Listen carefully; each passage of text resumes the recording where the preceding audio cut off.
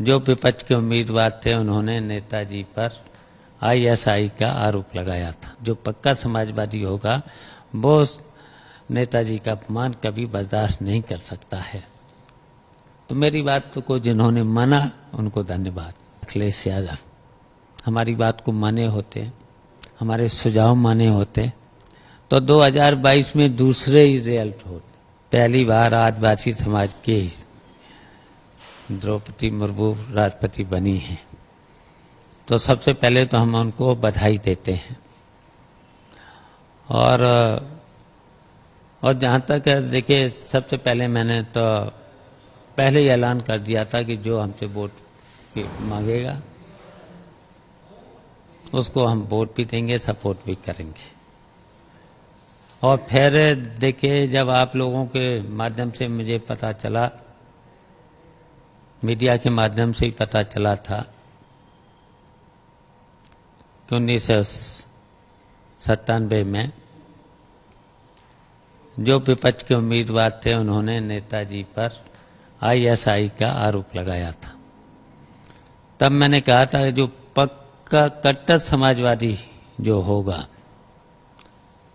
जो समाजवादी नेताजी के विचारों पर चलने वाला होगा वो जो नेताजी पर आरोप लगाने वाले प्रत्याशी को कभी सपोर्ट नहीं करेगा। नेताजी को अपमान कर, जो पक्का समाजवादी होगा, वो नेताजी का अपमान कभी बर्दाश्त नहीं कर सकता है। तो मेरी बात तो को जिन्होंने माना, उनको धन्यवाद। देखिए, मैंने पहले ही कहा था कि जो हमसे वोट मांगेगा तो उन्होंने कभी हमें ऐसे वोट नहीं मांगा। समाजवादी पार्टी के लोगों ने नहीं मांगा।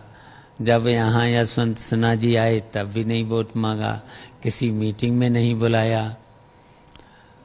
तो फिर जब यहाँ से मुख्यमंत्री जी के यहाँ से डिनर पर निमंत्रण गया, मैं गया तो वहाँ पर द्रौपदी मुर्मू भी थी। उनसे परिचय कराया गया, उन्होंने वोट मांगा, फिर मैंने उनको वोट भी दिया, सपोर्ट भी किया। अच्छा ये कैसा रिश्ता है?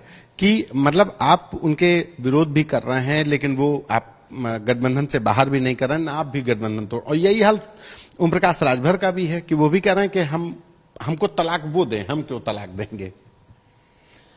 देखिए, अगर इन बात तो आपने जब कर रहे हैं तो हम तो यही कहेंगे कि देखिए, अगर समाजवादी पार्टी के राष्ट्रीय अध्यक्ष अखिलेश यादव हमारी बात को माने होते हमारे सुझाव माने होते तो 2022 में दूसरे रिज़ल्ट होते।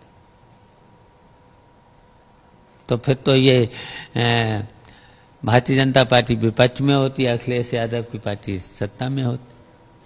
किन लोगों ने आपकी सलाह नहीं मानवाने दी? अखिलेश यादव खुद नहीं मानने को तैयार थे कि उनके सलाहकार, क्योंकि ओम प्रकाश राजभर तो कहते हैं उनके जो सलाहकार हैं, नवरतन है, उन्होंने सत्यापीठ रखी है।